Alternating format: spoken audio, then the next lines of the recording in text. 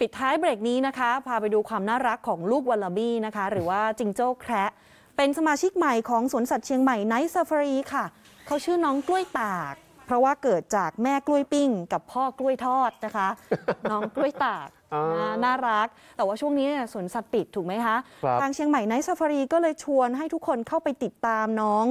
ในแอปพลิเคชัน TikTok ค่ะ แล้วก็แคปภาพการติดตามของท่านเนี่ยนะคะ ส่งเข้าไปที่ไลน์แอด Night Safari